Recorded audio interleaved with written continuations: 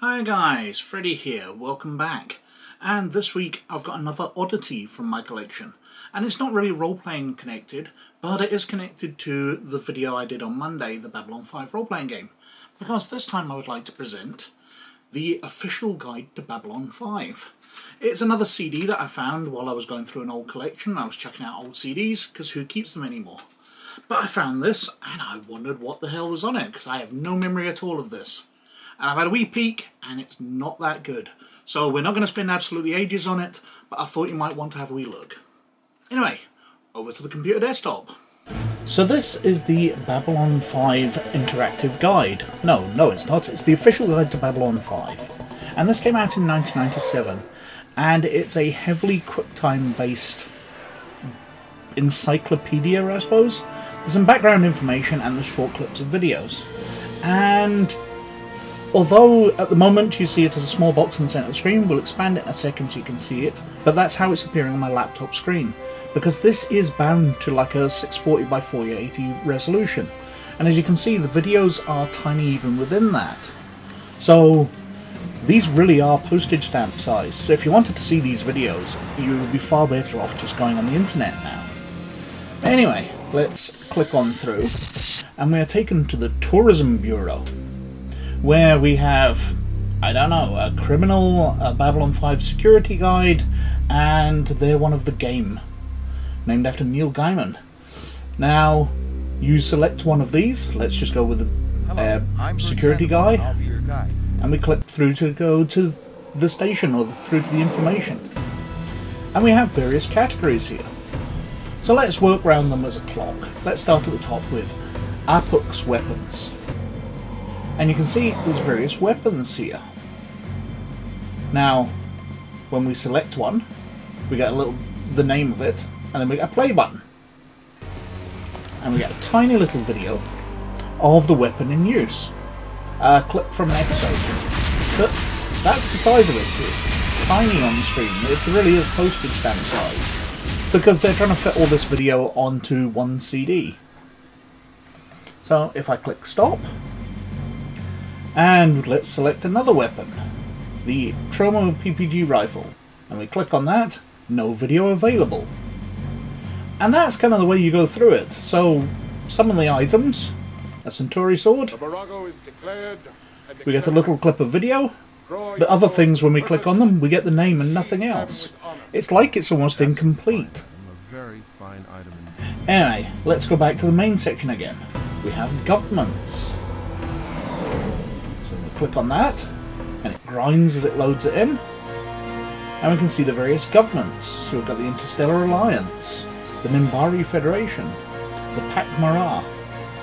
So let's go into the Minbari. And it loads in. Homeworld Minbar, colonies none of importance. Alliances, Interstellar Alliance, Narn Regime. Uh, enemies the Drakh. status very powerful. And we've got a section of text on here. Um, if we scroll down, it gives us quite a bit of background information. We click on play, and we get a clip of video showing the Minbari homeworld. Now, the videos don't have any play bars, so we don't know how long they last for, but they're not going to last long. These are very, very short. It must be difficult for you to feel so powerless. So we go back. Let's go back to the main. Were there any other governments worth looking at?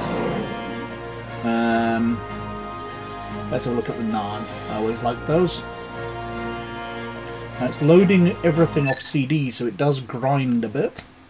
And we have a bit of waiting. Now I find it remarkable that the Narn regime should have all these colonies listed for it when the Minbari didn't. When the Minbari's a much larger um, uh, government. Hit play. Coalsack hack attack. I'm not quite sure what that's saying it there for. We got a very small video showing the wrecked Narn homeworld. Places to go.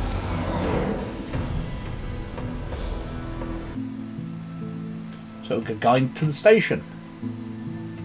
Um, Let's have a look at the council chamber.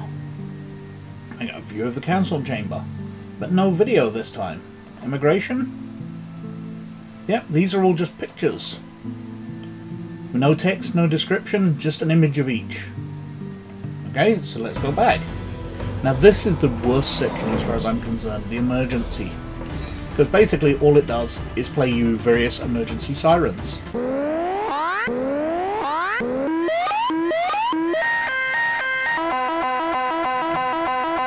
Okay, now I've bust your eardrums, let's click out of that, because that's just useless. We've got the ship section. Click on that, and wait for it to grind the CD-ROM. And we've got various starships here. I've always liked the paint job on the Narn Cruiser, so let's click on it and see what we see. Hivemaster Verchaz's Ships of Space. The G'Quan class heavy cruiser. X-ray laser, particle beams, energy mines, two heavy laser cannons. Quite a bit of interesting background information there, size of the crew and all that.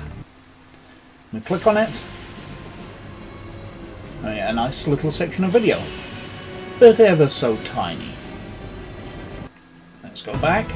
Any other ships? We've got the jump gates, the Earth cruisers, Centauri ones. Um, let's click on one at random. The Vree flying saucer, what is this?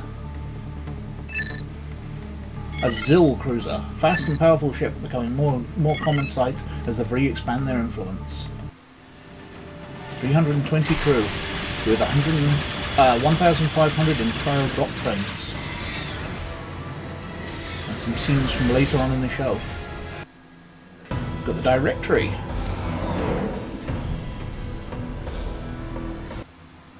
Where we've got various uh, members of the cast. So, Lyta Alexander. Give you a wee bit of background information on there. And if I click play, will it start playing? Eventually? Yep. Got a section of video showing her arrival on Babylon 5 and we'll get some various other clips of her. Go back. Oh, sadly so many of these people have passed away. Garibaldi, Franklin, Vir, G'Kar, just so many. And now Delenn's gone as well. Oh, this is just now making me sad now. Marcus Cole, the Ranger, who got added late to the show. Ranger Cole was injured in a medical accident, and is currently in cryonic suspension. Alright. In your next supply run, I want you to make a quick side trip through... I thought he was a pretty decent addition myself. I really quite liked him. Now does the bad come in the middle do anything? We get a malfunctioning Babcom unit. And that's kind of all there is. We can choose a different guide, but that seems to make no difference whatsoever. Um, we get the clips of video. Now, there were two discs in this set. The second disc is a music disc, which has various interviews on it as well, in equally postage stamp size. But the last thing on it was a trailer for the Babylon 5 video game, a Starfighter game, which never came out from Sierra Online. So, let's roll that, and see a game that never appeared. Well, mainly it's just clips from the show. Anyway, thank you very, very much for watching, as always. Please like, subscribe, and comment below, as it does me massive favours with the YouTube algorithm. But as always, most of all, you look after yourselves, and I'll catch you later. Bye now.